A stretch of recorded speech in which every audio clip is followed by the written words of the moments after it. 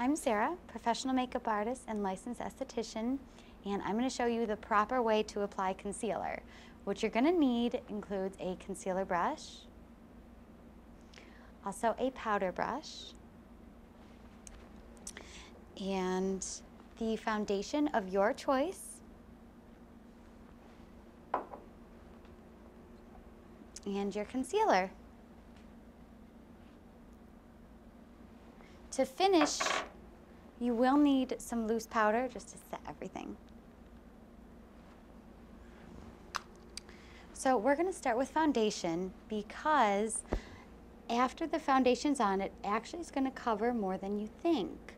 So to avoid putting too much product on your face or somebody else's, it's best to start with concealer. Or to start with foundation, I'm sorry.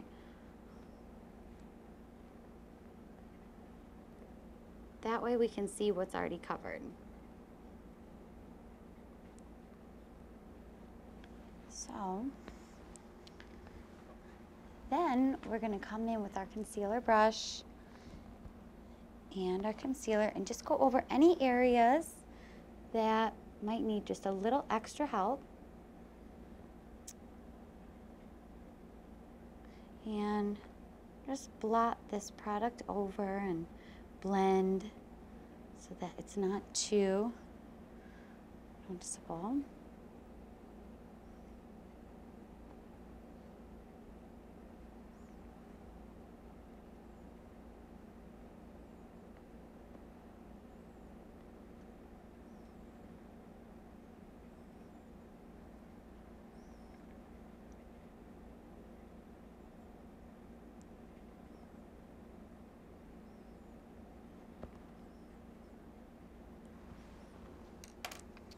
Once you've done that, her concealer's on over her foundation. We just want to set it to make sure that it doesn't go anywhere.